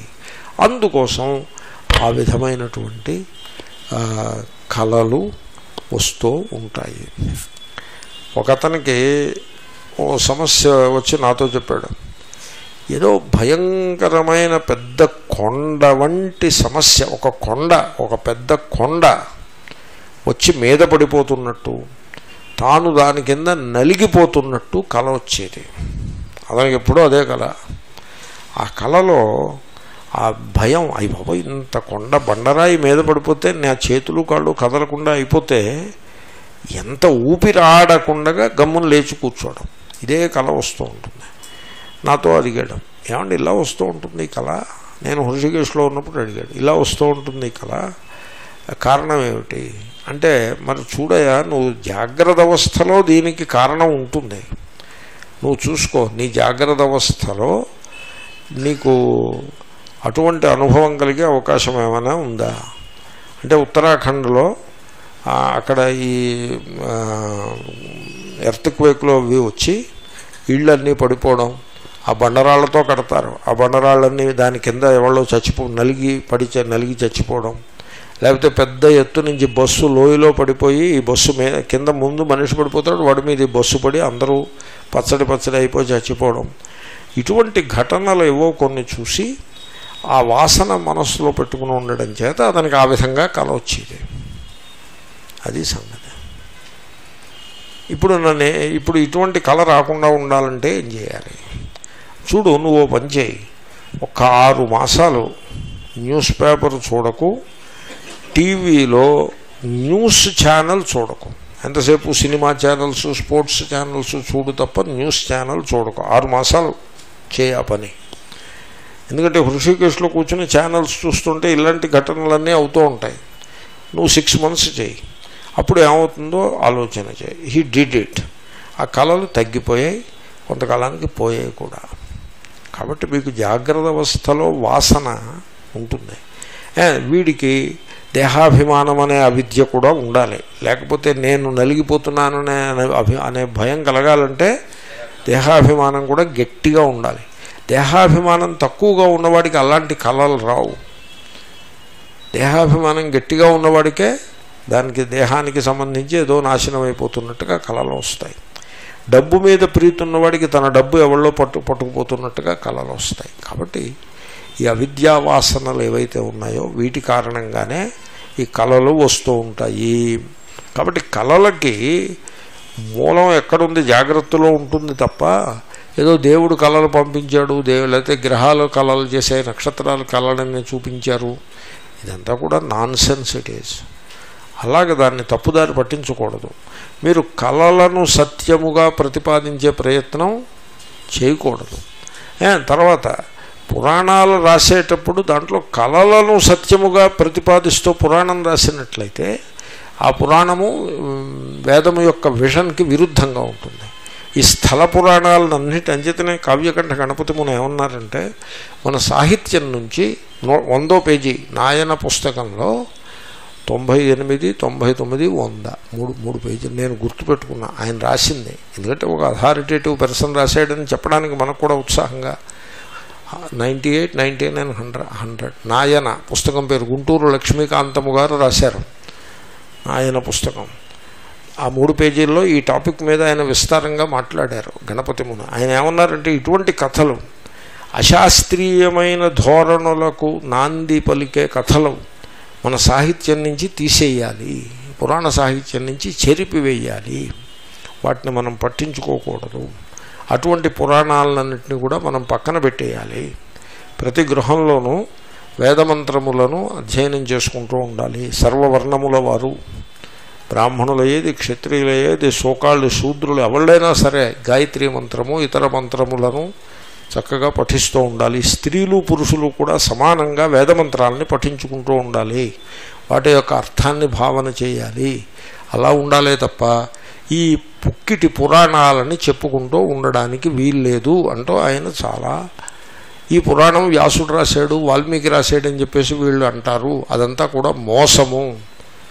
అని ఆయన మోసం అనే పదం వాడారు. మరి మేమేదో ప్రక్షిప్తం చేశారు నిక్షిప్తం చేశారంటూ ఏదో సంస్కృత పదాలను వాడుకుంటూ ఉంటే ఆయన చక్కగా స్పష్టంగా ఇది మోసము అని చెప్పేసి రాసిపెట్టారు కాబట్టి కళలను సత్యముగా ప్రతిపాదించే కథ మీరు ఎప్పుడు ఎక్కడ విన్నా ఇది అశాస్త్రీయము అని మీరు తోసిపుచ్చాల్సి ఉంటుంది. Reject it. ఎందుకంటే అవిద్యావాసనలు ఉంటాయి. ఆ వాసనలో నుంచి ఇవి పుడుతూ ఉంటాయి ఆ వాసన ఉద్భవ. అంటే ఒక్కసారి చిగురుస్తుంది. అదే నిమిత్తం. ఈ రకమైన కళను వీడు గనడానికి అవిద్యావాసన అంతవరకు అణిగిమణిగి ఉన్న అవిద్యావాసన ఒక్కసారి ఉద్భవిస్తుంది. అందుకోసం ఇటువంటి కళను వీడు దర్శిస్తూ ఉంటాడు. ఇంకా ఎలాగా? తథా హస్తి ఇవ ఏనం విచ్ఛాయయతి. అవిచ్ఛాయయతి అని ఉంటుంది మంత్రంలో దాన్ని మీరు విచ్ఛాదయతి అని మార్చుకోవాలి. విచ్ఛాదయతి. సరే మార్చుకున్నాం. దానికి అర్థం ఏమిటి? విద్రావయతి. వీడు కరిగి పారిపోయిట్లా చేస్తోంది. అంటే అర్థం ఏమిటి? ధావయతి. ఇవా ఇత్యర్థ. ఇప్పుడు మంచు కరిగిందనుకోండి అది అలా కిందకి జారిపోతుంది. అలాగే వీడు మంచులాగా కరిగిపోయి కిందకి ఎక్కడికో జారిపోయాడు. అంటే అర్థం ఏంటి? పరిగెత్తుకుని వెళ్ళిపోయాడు. వీడు పరిగెత్తుకు వెళ్ళిపోయేట్లాగా ఏనుగు చేసింది. నిజం కాదండి ఇవా. అలా కలగన్నాడు. గర్తమివ పతతి. అంటే అర్థం ఏంటో తెలిసిన? గర్తం జీర్ణకూపాధికం. పాడుపడిన నుయ్యి. అది గర్తం అంటే. పాడుపడిన నుయ్యి. లేకపోతే పెద్ద గొయ్యి మొదలైనవి. ఇవ పతంతం ఆత్మానం ఉపలక్షయతి. వాడు తనని తాను ఎలాగ చూసుకుంటాడంటే తాను నూతిలోకి పడిపోతున్నట్టుగా చూసుకుంటాడు. తన తనని తాను చూస్తున్నాడు. తను ఎలా ఉన్నాడు? కాలు జారి నూతిలోకి పడిపోతున్నాడు. అలా చూసుకుంటాడు. ఏం కర్మండి? అలాగా ఇదంతా కూడా అజ్ఞానమే కదా అవిద్య. తాదృశీ అస్య మృషావాసన ఉద్భవ ఉద్భవతి. ఏమంటే తను గోతులో పడిపోతున్నట్టుగా తనని తాను వీడు ఎందుకు చూసుకున్నాడు? అంటే హీ బికాజ్ వాడికి పుట్టిన వాసన పైకి చిగురిచ్చిన వాసన వాసన చిగురుస్తుంది. ఆ చిగురిచ్చిన వాసన అలా ఏడిసింది. దానికి మనం ఏం చేస్తాం మరి? అస్య వాసన వృషా అదే అసత్యం తాదృశి అలా ఉంది. ఏమంటే ఇలాగంటే ఘోరములైన వాసనలు అంటే తాను గోతులో పడిపోతున్నట్టు పాడుపడ్డ నూతులో పడిపోతున్నట్టు తనని తాను అంత అధ్వాన్నంగా చూచుకునేట్లాగా కూడా వాసనలు ఉంటాయా అంటే ఉంటాయిరా బాబు. అన్ని రకాల వాసనలు ఉంటాయి. అత్యంత నికృష్టాధర్మోద్భాసితాంతఃకరణ వృత్యాశ్రయా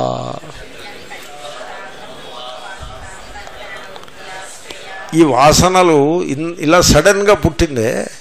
ఇది ఎక్కడి నుంచి పుట్టింది అంటే వీడి అంతఃకరణలో ఇంతకుముందు వృత్తి రూపము వృత్తి అంటే అనుభవం.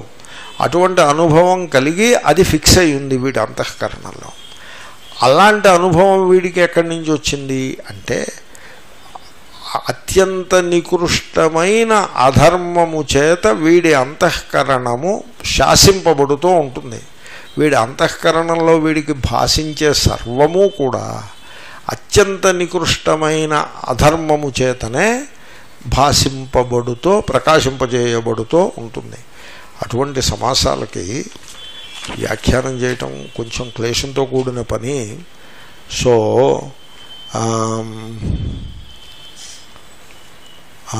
మిక్కిలి నికృష్టమైన అధర్మము నుండి పుట్టే అంతఃకరణ వృత్తులకు ఈ వాసనయే ఆశ్రయము. అది సరిపడింది.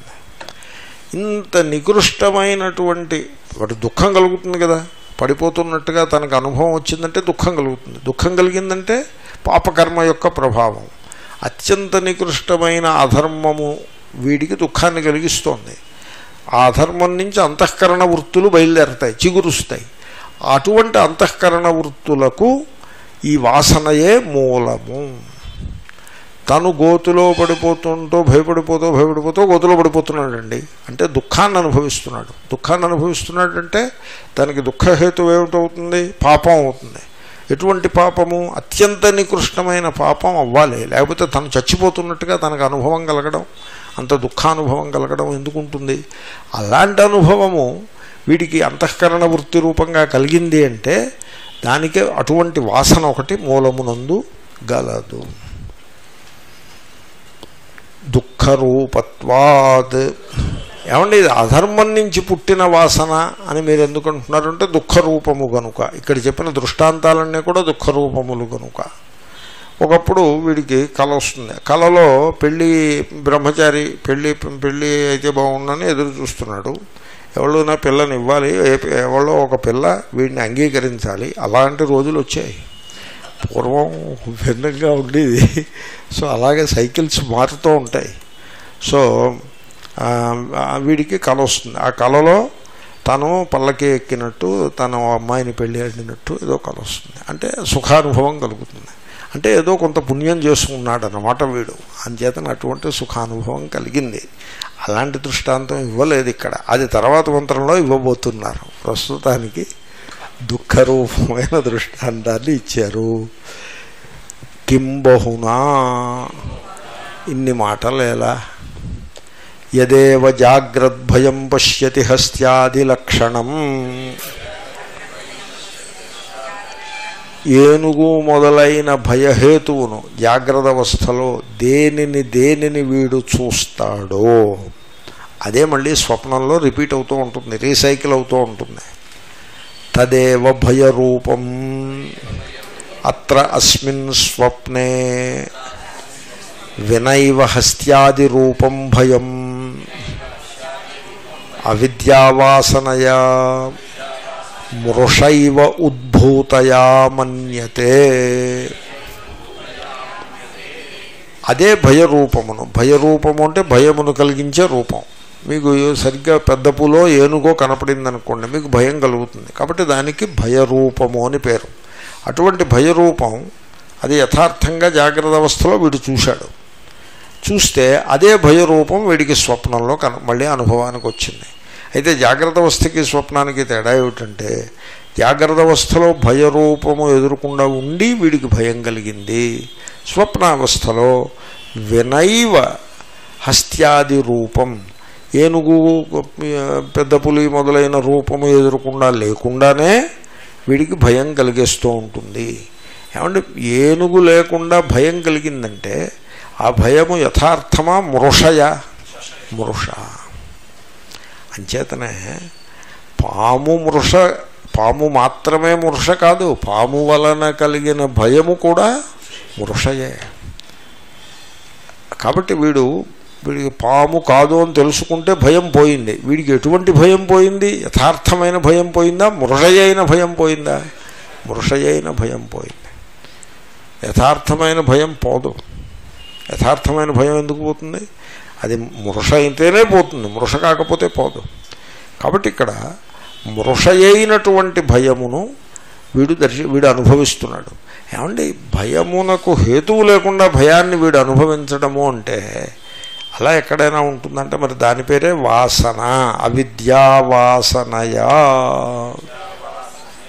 భయహేతువు లేకుండా భయమును అనుభవిస్తున్నాడు. అయ్యా ఆ భయము ఉద్భూతమవుతుంది. అవిద్య వాసన అంటే అజ్ఞాన రూపమైన వాసన ఒక్కసారిగా ఉద్భూతమవుతుంది. ఉద్భూతమైతే అక్కడ భయహేతువు లేకున్నా వీడు భయాన్ని అనుభవిస్తాడు. వీడు ఐదు వందల రూపాయలు అప్పిచ్చాడండి ఎవరికోనో ఎప్పుడు అప్పు ఇవ్వకూడదు. ఊరికే ఇచ్చేసేయాలి. పట్టుకుపోరాడు వాడు ఐదు వందల రూపాయలు అప్పు కోసం వస్తే నా దగ్గరికి ఒకడు అప్పు కోసం వచ్చాడు ఐదు వందలు. నేను ఐదు వందలు ఇచ్చాను ఆయన నువ్వు ఖర్చు పెట్టుకో. అప్పు లేదేం లేదు. నేను నీకు ప్రేమతో ఇస్తున్నాను అయిపోయింది. ఎందుకో నేను ఆ పని ఎందుకు చేశానో తెలుసిన? అతని మీద ప్రేమ కంటే కూడా నా మీద నాకు ప్రేమ ఎక్కువ. నేను ఇంకా మళ్ళీ ఇతన్న అది మనసులో పెట్టుకుంటే వాడు ఇవ్వడు. నేను దుఃఖపడుతూ కూర్చోవాలి. అందుకోసం ఇచ్చేయాలి. కాబట్టి వాడు నాకు డబ్బు అప్పు పడ్డాడని అనుకోవడమే అవిద్య. అదియే భయహేతువు ఈ లోకంలో ఎవళ్ళు ఎవళ్ళకి అప్పులు అవి ఏం పడరు. ఎవళ్ళ డబ్బులు వాళ్ళకు వస్తాయి సో దీనికి ఏమని చెప్పారంటే మేరు పర్వతం దగ్గరికి వెళ్ళాడు వీడు. మేరు పర్వతం అంటే అక్కడంతా బంగారపు రాళ్ళు అవే ఉంటాయి. వీడి దగ్గర చిన్న జోలి ఉన్నది. వీడికి ఎంత బంగారం దొరుకుతుంది? ఆ జోలి ఎంత ఉందో అంత బంగారమే దొరుకుతుంది. అవడానికి అదంతా మేరు పర్వతమే. కాబట్టి అలాగే ఈ జగత్తులో మన వాటా ఎంతో అంతే మనకి లభిస్తుంది. మన వాటా కానిది మనకి లభించనే లభించదు. కాబట్టి వాడు డబ్బు ఇవ్వాల్సిన డబ్బు ఇవ్వలేదనుకోండి మీకు ఎవరైనా అప్పు పడ్డవాడు ఇవ్వలేదనుకోండి మీరు చక్కగా నమస్కారం చేసి తూర్పు వైపు తిరిగి దండం పెట్టేది ఎలాగో ఉంది. అంటే తూర్పు పడ్డే ఉదయించే సూర్యుడు అందుకోసం చెప్పారు. తూర్పు వైపు ఒక నమస్కారం వాడు ఉన్న దిక్కు వైపు ఇంకో నమస్కారం చేసి వాడికి ఫోన్ చేసి నాన్న నువ్వు నాకు డబ్బు ఇవ్వద్దు నువ్వు అట్టే పెట్టేసుకో. అని చెప్పేసి చేతులు కడిగేసుకుంటే మీరు హాయిగా నిద్రపోవచ్చు మీకు ఇంకా కలలో రాదు. ఈ సంసారంలో మనం ఏ భయహేతువును దర్శించినప్పటికీ అది కేవలము అవిద్యారూపమే తప్ప దాంట్లో వాస్తవికత లేదు. ఇది గమనించాలి. ఇక్కడ శంకరులు ఏదో ఏనుగు తరువుకు వస్తుంది గోతిలో పడ్డాడు ఇలాంటి దృష్టాంతాలు చెప్తారు. శత్రు దృష్టాంతం కూడా చెప్పారు. దొంగలు శత్రువులు ఎవళ్ళు ఉండరు. దొంగలు ఎవళ్ళు ఉండరు. వాళ్ళ సొమ్ము మన దగ్గర ఉండబట్టే వాళ్ళు వచ్చి పట్టుకుపోతారు. అంతే దొంగలు ఎవళ్ళు ఉండరు. శత్రువులు కూడా ఎవళ్ళు ఉండరు. మీకు ఒక ఆయన ఉన్నారు. ఆయన చాలా దుఃఖంగా ఉన్నారు. నేను అడిగాను ఎందుకండి మీరు పెద్దలు? ఎందుకు దుఃఖపడుతున్నారు? అని నేనంటే వీడు నాకు అపకారం చేస్తున్నాడు ఓయ్. వీడి అపకారం వల్ల నేను దుఃఖించాల్సి వస్తుంది. అని చెప్పారు. అంటే నేను అన్నాను చూడండి మీరు రెండు మిస్టేక్స్ చేస్తున్నారు. ఒకటి మీకు వచ్చిన లోటేమీ లేదు మీకు ఎవళ్ళు ఏ అపకారము చేయుట లేదు ఎవళ్ళు చెయ్యలేరు కూడా. నెంబర్ వన్ నెంబర్ టూ ఆయన మీరు అనుకున్నంత దుష్టుడు కాదు. ఆయన సౌమ్య స్వభావం గలవాడు. ఆయనకి మీరంటే ఓపిసరంత రెస్పెక్టే ఉంది తప్ప మీకు పని కట్టుకుని అపకారం చేయాలని ఆయన అనుకోవడం లేదు. నేను ఎరుగుదును ఆయన్ని అంతరంగంగా ఎరుగుదును కాబట్టి చెప్తున్నాను. ఈ మాట నేను మీకెందుకు చెప్పాలి? ఆయన మంచితనం గురించి నేను మీకెందుకు చెప్పాలి? మీ మీద నాకేం వ్యతిరేకం కాదు. మీరంటే ప్రేమ. నేను ఎందుకు చెప్తున్నానంటే ఆయన శత్రువు అనే భయంతో మీరున్నారు. ఆ భయం మీకు పోతే మీరు విశ్రాంతిగా ఉంటారని నేను చెప్తున్నా అని చెప్పాను.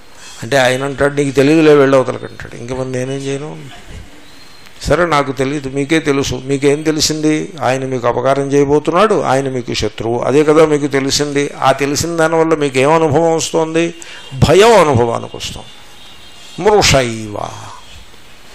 అరే తెలుసుకోండి చెప్తే కూడా తెలుసుకోవాలి కదా. కాబట్టి ఈ రకంగా సంసారులు జాగ్రత్త భయాన్ని స్వప్నంలో దర్శిస్తూ ఉంటారు. అథయత్ర దేవ ఇవ రాజేవ అహమే వేదం సర్వం అస్మి వేదం సర్వోస్మి ఇది మన్యతే సోస్య పరమో లోక యా అవతారిక అథ పునః ఎత్ర అవిద్యా అపకృష్యమాణా విద్యా చ ఉత్కృష్యమాణా పైన చెప్పిన దానికి భిన్నంగా అంటే అక్కడ అవిద్య పేట్రేగిపోతోంది. పైన చెప్పిన దృష్టాంతంలో పెచ్చరిల్లి ఉన్నది అవిద్య. ఇప్పుడు ఏమైందంటే క్రమంగా వీడేదో కొంచెం వేదాంతం చదవడం ప్రారంభించాడు. వేదాంతంలో తత్రాపి కొంచెం మాండూక్యం ఇత్యాదులను చదవడం. నేను గమనించింది ఈ వేదాంతం చదువుతారు చూడండి రెండేళ్ళు మూడేళ్ళు వేదాంతం చదువుతారు. వాళ్ళు బుద్ధిమంతులైతే బాగా మంచి టీచర్ దగ్గర మంచిగా వేదాంతం చదువుకున్న వాళ్ళైతే సృష్టి దృష్టివాదాన్ని ఎంతో కొంత పట్టుకున్నారని అర్థం. అంటే దేవుడు ఈ జగత్తంతా కూడా సృష్టించాడు. ఉపాదాన కారణం వేరే ఏమీ లేదు. తన నుండియే సృష్టించినాడు. కాబట్టి పంచభూతముల రూపంగా దేవుడే మన ముందు ఉన్నాడు. ఇంత మాత్రం వాడు తెలుసుకున్నాడంటే వాడు బుద్ధిమంతుడి కింద లెక్క. సాధారణంగా మీకు అటువంటి బుద్ధిమంతులు కొద్దిమందే కనపడతారు. బుద్ధిమంతుడు మంచి ఆచార్యుడి దగ్గర మూడేళ్ళలో నాలుగేళ్ళలో చదివితే వాడు పట్టుకున్నది సృష్టి దృష్టివాదము వాడు ఇంకో స్థాయి ఆచార్యుడిని పట్టుకుని ఇంకో నాలుగేళ్ళు అధ్యయనం చేస్తే వాడు ఇంకో మెట్టు ఎక్కుతాడు ఆ మెట్టిది. ఈ దృష్టి సృష్టివాదం అన్నది ఆ మెట్టు. నేను వాళ్ళకి చెప్తూ ఉంటా ముందు నువ్వు ఒప్పుకో నీకు తెలియదు అని ఒప్పుకో. నా ఎదురుకుండా ఒప్పుకోవద్దు. నువ్వు రూమ్లోకి వెళ్ళిపోయి తలుపు వేసుకుని ఒంటరిగా కూర్చుని నాకు తెలియదు. నేను తెలుసుకోవాలి అనే మాట తర్వాత వస్తుంది. ముందు ఐ డు నాట్ నో అని నువ్వు చె- నీకు నీకు నువ్వు చెప్పుకో. అలా ఓ పదిసార్లు జపం చేసినట్టుగా చెప్పుకో. అప్పుడు తలుపు తీసుకుని రా. అప్పుడు నీకు అర్థం అవుతుంది. లేకపోతే నీకు ఈ పాఠం అర్థం కాదు. అని నేను చెప్తూ ఉంటా. నేను తెగించి చెప్తా. ముఖ్యంగా వేదాంతం చదువుకున్న వాళ్ళు విద్యార్థులు పండితులు కనుక క్లాసులో కూర్చున్నారంటే నేను మరీ పెట్టలేకపోతా ఎందుకంటే వాళ్ళు మళ్ళీ మళ్ళీ దొరకరు. మన విద్యార్థులు ఎప్పుడూ ఉండేవాళ్ళే. మళ్ళీ మళ్ళీ దొరకరు. నేను మొన్న రాజమండ్రిలో నాకు సత్కారం ఏదో చేశారు వాళ్ళు. అప్పుడు నేను లెక్చర్ చెప్పాను ఫార్టీ ఫైవ్ మినిట్స్. అందరూ వేదాంత విద్వాంసులు అందరూ కూర్చున్నప్పుడు చెప్పారు నేను. అది ఇట్ వెంట వైరల్. అది చక్కర్లు కొడుతుంది అది. మీకు ఎవరికైనా కావాలంటే నాకు రాయండి ఉత్తరం ఒకటి ఈమెయిల్. నేను మీకు రిప్లై ఇచ్చి అది పంపిస్తా. తెలుగులో ఉంటుంది లెక్చర్ ఆడియో ఫైలు. దాంట్లో నేను కేవలం వేదాంత విద్వాంసులను ఉద్దేశించి చెప్పాను. అది ఆ ఉపన్యాసం. ఎందుకంటే వాళ్ళని ఒక్క షేక్ చేసి లేవకొట్టాలి లేకపోతే నాకు తెలుసు అనుకుంటారు. ఏమిటి తెలియడం?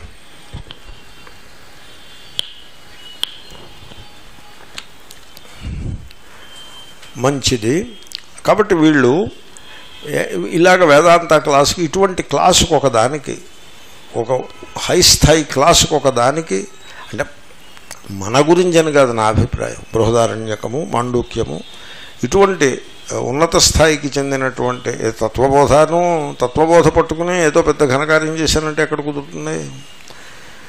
నేను తత్వబోధ శంకరాచార్యులు రాశారేమో అనుకునేవాడిని. తర్వాత తెలిసింది నాకు అది శంకరాచార్యులది కాదని. ఎప్పుడు నేను తత్వబోధ ఎప్పుడు చదవలేదు. ఎందుకంటే తత్వబోధ పాఠ నేను మా నాన్నగారితో తత్వబోధ అంటే చదువుకోరా ఊరికేను తత్వబోధ అంటావు అని విసుక్కున్నారు. దాంతో నోరు మూసుకూరుకున్నాను నేను. అంటే ఆయన అభిప్రాయం ఏంటంటే నీకు తత్వబోధ అక్కర్లేదు ఏమక్కర్లేదు ఏదైనా ఉన్నతమైన గ్రంథం చదువు తప్ప అనే అభిప్రాయం. అది మరీ బిగినర్స్ అది అస్తు. సో వీడు వేదాంత క్లాసుకు వెళ్తున్నాడు. వెళ్తుంటే ఏమవుతోంది? అవిద్య వెనక్కి లాగబడుతోంది. విద్య ముందుకు తోసుకొస్తోంది. విద్యాచ ఉత్కృష్యమాణ. అప్పుడు వీడి పరిస్థితి ఎలా ఉంటుంది? కిం విషయా కిం లక్షణా చ ఇత్యుచ్యతే అవిద్య వెనక్కి వెళ్తూ విద్య ముందుకు వస్తుంటే అప్పుడు వీడి పరిస్థితి ఏ విధంగా? ఆ విద్య యొక్క స్వరూపం ఎట్టిది? కిం విషయ? ఆ విద్యలో ఏదేది విషయమవుతూ ఉంటుంది?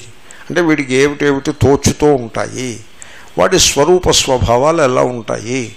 వాడు కళ చూస్తే ఆ స్వప్నం ఎలా ఉంటుంది? అది చెప్తున్నారు. అటువంటి వాడు స్వప్నంలో ఎలా ఉంటుందో తెలుసిన? తాను దేవుడు అని అనుకుంటాడు. దేవ ఇవ. అహం దేవ. అంటే ఇప్పుడు రుద్రోభూత్వ రుద్రం యజేత తాను ఈశ్వరుడయ్యి ఈశ్వరుణ్ణి ఆరాధించాలి. ఇప్పుడు మీకు చూడండి మీరు నేను పాఠంలో చెప్తా ఎప్పుడు దేవాలయానికి వెళ్ళినా పూజ చేసినా ఆ ఆరాధింపబడే దేవత మీ ఆత్మస్వరూపమే అని మీరు తెలుసుకునే చేయాలి సుమా అని నేను హెచ్చరిక చేస్తూ ఉంటాను మీరు కూడా దాన్ని శ్రద్ధగా ఇప్పుడు ఒక యాభై సార్లు వినుంటారు మళ్ళీ మళ్ళీ వింటూనే ఉంటారు. మీకు స్వప్నం వచ్చినప్పుడు అహం దేవ అనే మీకు ఆ స్వప్నం అలా వస్తుంది. మీకు జాగ్రత్త అవస్థలో అహం అహం శి- శివోహం అనుకోవడానికి మీకు రెండు సమస్యలు వస్తాయి.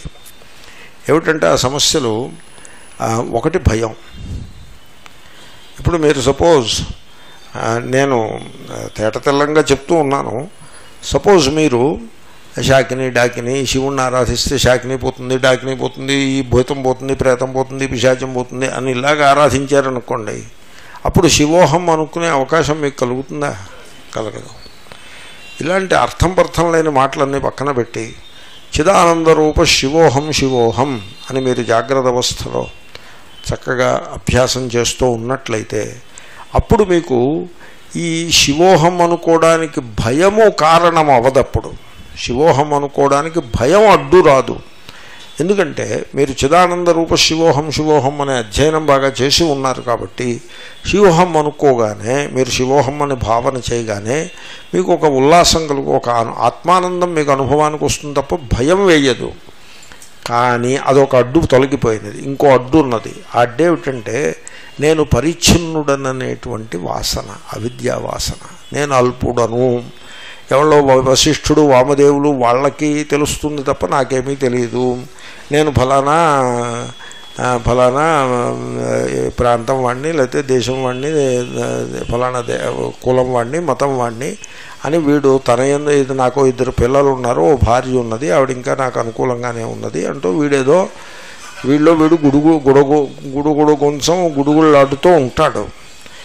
అలాంటి వాడికి అహం శివ శివోహం శివోహం శివోహం అని అనుకునేప్పుడు ఈ పర్సనాలిటీ ఒకటి అలాగా అడ్డొస్తూ ఉంటుంది. శివోహం అనుకున్నప్పుడు అలా పర్సనాలిటీ పక్క నుంచి తోస్తూ ఉంటుంది.